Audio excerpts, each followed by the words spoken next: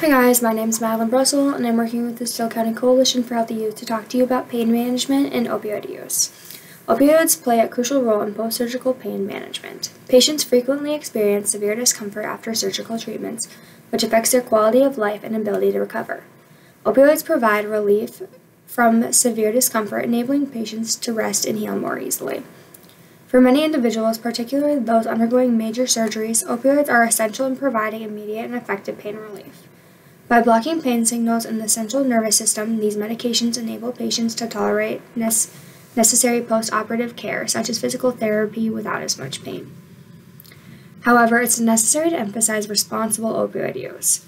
Healthcare providers must carefully assess each patient's pain levels and medical history to prescribe the appropriate dosage and duration of opioid therapy.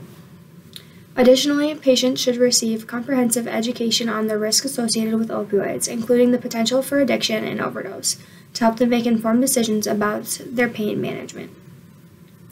Furthermore, the medical community continues to explore alternative approaches to pain management, including non opioid medications, regional anesthesia techniques, and integrative therapies to minimize their reliance on opioids whenever possible. While opioids remain an essential tool in post surgical pain management, it's important to remember that their usage should be approached with caution and supplemented with comprehensive care strategies to ensure positive and safe patient outcomes. Thank you.